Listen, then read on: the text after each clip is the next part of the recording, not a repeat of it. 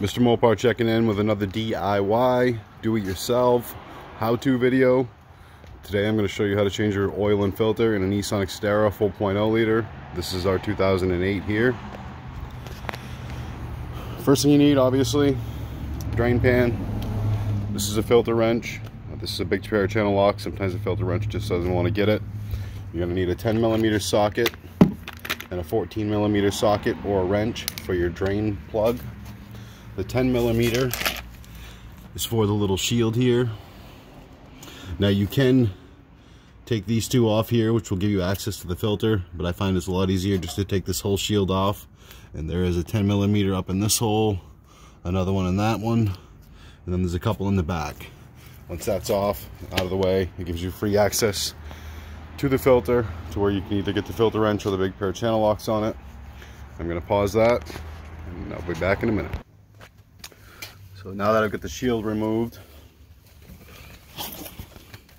you can see underneath here, and your oil filter is right here. It's a lot easier to get at with that whole fill whole shield removed versus just removing the little cover. This is your oil drain pan here. There's the plug. It's a 14 millimeter. And I personally only use Mobil 1 530 full synthetic. The filter for these 4.0s is the Mobil 1 M1 110A. Gonna remove my drain plug. Start to let that drain. Got my drain plug out. Oil's draining. I usually give it about five or 10 minutes, let it drain real good. Put the plug back in and then come up and remove the filter. It does have this little slide here but it's still going to get oil everywhere. It's just not a bad, not in a great spot to uh, prevent making a mess. So I'm going to pause that and I'll come back when I'm ready to remove the filter.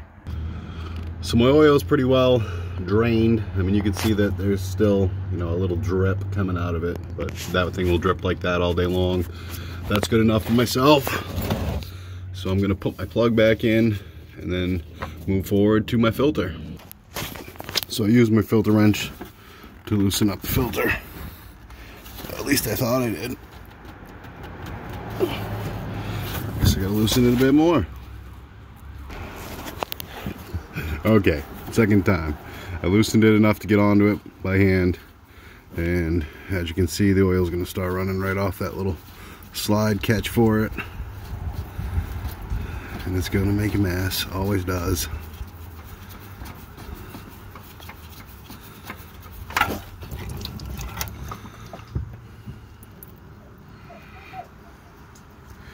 And again, that is the Mobil 1 110A for the 4.0 liter engine. I'm going to give that a couple of minutes to drain. I'm going to put my new filter back on, fill it back up, and she's done. Here's my new filter.